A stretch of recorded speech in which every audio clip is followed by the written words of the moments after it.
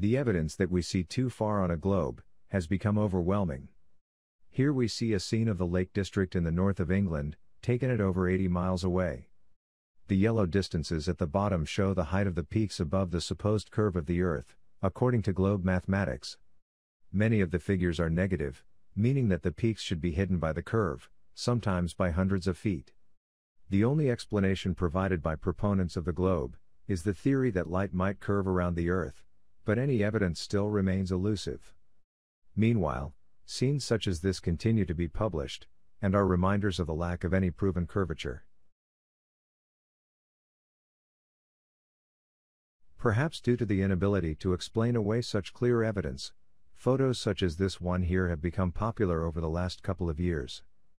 It shows an apparent drop in distant objects. A spirit level such as the apparatus here is used to indicate observer level, or true level. As we look into the distance, it appears that objects such as mountain ranges drop below this. We're told that the only explanation is a curved Earth. Variations on the same theme are also presented, where distant mountains are analyzed against a nearer reference point, such as a tower.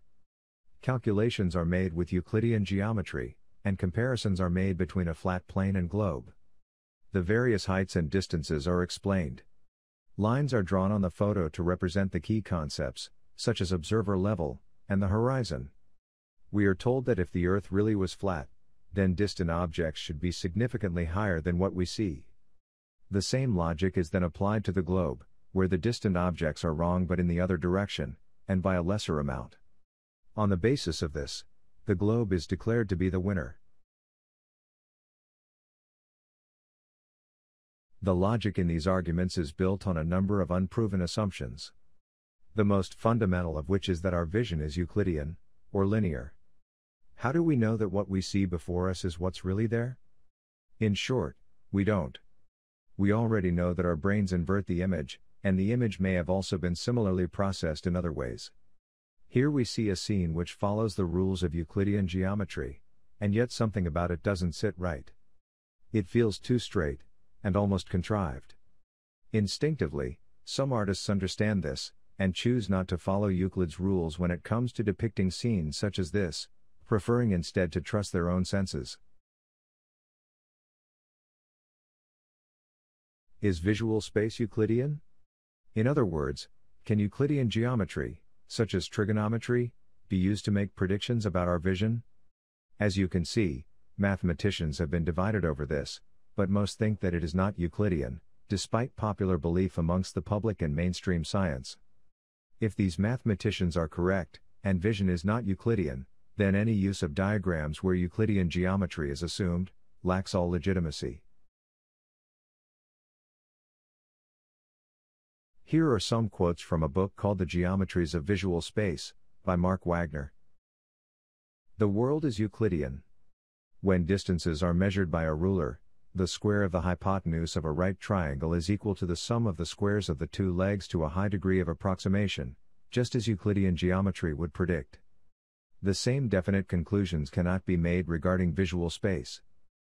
For over a millennium, mathematicians believed that Euclid's geometry was the only one possible. Asking what geometry best describes visual space would have made no sense to them. Visual space could only be Euclidean. The self evident certainty of Euclidean geometry crumbled in the early 19th century as a result of mathematical investigations of the parallel postulate. Local regions of the space are essentially Euclidean. On the macro level, however, straight lines in physical space may appear curved in visual space. Visual geometry is a shifting, changing thing that is not defined by a single geometry, rather, it is best thought of as a family of geometries. A significant clue that vision is not Euclidean is that it breaks Euclid's fifth postulate, which states that parallel lines never meet. Here we see two parallel lines of a railway track. We know that they don't really meet, but according to our eyes and cameras, they are perceived to meet in the distance due to the limitations of vision. Therefore, it must be assumed that vision is not Euclidean. If Euclidean geometry is used to disprove flat Earth, then surely some evidence should first be provided to establish its legitimacy.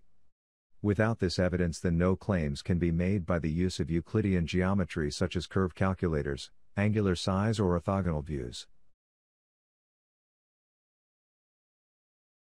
Modeling tools are often used to replicate real world observations, in an effort to disprove flat Earth, but they do not represent our true vision at all. If you create a pair of parallel lines and zoom into the distance, the two lines will always be resolved due to the fact that the lines are simply mathematical equations in Euclidean space, and can thus be distinguished into infinity. This is not the case in the real world, where eventually the two lines will converge to a single point, no matter the power of the zoom. Likewise, the bottoms of objects such as mountains and towers remain fully visible in modeling tools, despite limitations in real vision such as angular resolution and convergence, as top and bottom meet. The problem with 3D modeling is this nothing ever actually vanishes at the vanishing point. Instead, all objects remain fully resolvable. Rather than talking about the limits of vision as though it is a problem, we need to understand that it's this very phenomenon which provides our true perspective view. The world would look very alien if we saw it through linear, or Euclidean eyes.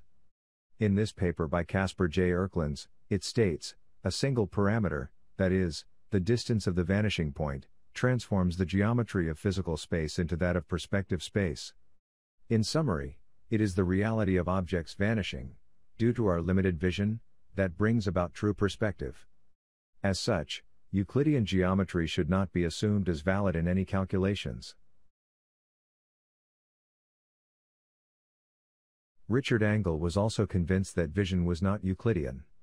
Here he says The thesis which I wish to present and defend in this paper is this there is a geometry, which fits precisely and naturally the configurations of the pure visual field, and that the geometry is not a Euclidean geometry, but a two dimensional elliptic, or Riemannian geometry. The space of Euclidean geometry is everywhere, and in all directions constituted alike, it is unbounded and infinite in extent. On the other hand, the space of sight, or visual space, as it has been termed by Johannes Müller and Hering, is found to be neither constituted everywhere, and in all directions alike, nor infinite in extent and unbounded. Angell is saying here that visual space has natural limitations, which must be taken into account, whereas Euclidean geometry, including its use in 3D modeling tools, has no such limitations because it fails to deal with the vanishing point, and so continues into infinity, thus producing unfaithful renderings of scenes.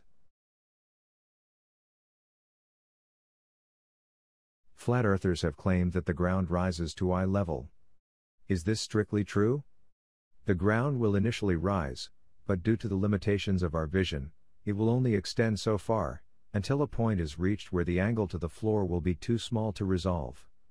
In this case, if that angle is between the blue and red lines, then the observer will be unable to see the red block, and all subsequent blocks. As such, the ground will appear to drop away, due to this resolution limit. This also applies to objects attached to the ground, such as mountains and towers. The ceiling, on the other hand, being much higher, will continue to drop to eye level as predicted. Sky always dominates at the point of convergence, because it is much higher and so easier to resolve. Once we begin to appreciate this, then the images which depict an apparent drop in ground level start to make more sense on a flat plane. In the real world, the ground will not rise indefinitely, whereas in the world of 3D modeling it will, due to its inability to replicate the all important vanishing point. This is a well known scene in the flat earth community, which generated much discussion about a year ago. It was even famously responsible for persuading one flat earther that he had made a huge mistake, and he's since reverted back to the globe model. The trickery was done with the use of Euclidean geometry. Orthogonal views were presented, heights and angles were calculated, lines were drawn on the photo, 3D models were created, and flat Earth was destroyed, allegedly. This was all based on the false assumption that trigonometry in the Euclidean space was valid for vision. Let us be very clear about the two different models. The true model of a linear or Euclidean plane and spherical vision, indicated here as Model A, has been exchanged for the spherical Earth and Euclidean vision, of Model B. When analysis is performed, and comparisons are drawn between the globe and flat Earth models, it is wrongly assumed that the Euclidean geometry belonging to Model B can be applied to Model A, the flat Earth model. Many of my observations are concerned with challenging the spherical Earth Model B and its use of Euclidean geometry with curve calculators and orthogonal views. The figures simply don't add up, and we see much further than we should. However, that same Euclidean geometry cannot then be used to challenge the flat Earth Model A. If flat Earth is to be challenged, then it must be done with the correct geometry of spherical vision. Critics then demand the mathematical equations of this spherical vision. Despite hundreds of years of research, vision still remains largely a mystery, and there should be no shame in admitting this. But, let's stop imagining that the ground is curved instead of our vision, in order to make equations fit observations. Besides, it is an assumption to claim that all natural phenomena can be reduced to mathematical equations. Unfortunately, mathematics continues to be considered as the source of ultimate truth, as has been the case since the Greeks. We may be able to make some predictions about our spherical vision on a flat plane, by imagining that the Earth is curved instead. Indeed, this is how our vision has been reverse engineered into the globe, and explains why it has so successfully deceived the public at large and mainstream science. However, the model of the globe proves nothing about reality itself. The truth is, there are many elements at play to bring us this scene, which cannot be reduced to mathematics. At near distances, Euclidean geometry can be used as a good approximation for basic predictions in visual space, but as mathematicians have already remarked, the same cannot be said of long distances. The claim is often mistakenly made that photos are our true source of reality, but cameras are designed to imitate our eyes, and are also subject to the same limitations of vision. At long distances, objects simply vanish, ground does not rise to eye level, vision is finite and bounded, and parallel lines meet. This photo represents a subjective view of a landscape, from an observer's perspective. Each object is subject to the various constraints of limited vision, each with its own vanishing line, and disconnected from that of other objects. What we have before us is a collage of many different subjective views, woven together, each subject to a family of geometries, as described earlier by Mark Wagner in his book. Convergence, angular resolution, mirages, weather conditions, angular size, spherical vision, compression, and vanishing points, all contrive together, to bring us this final scene. In conclusion, any attempt to analyze the scene with Euclidean geometry is simplistic and crude. And most importantly, it will lead to misleading results.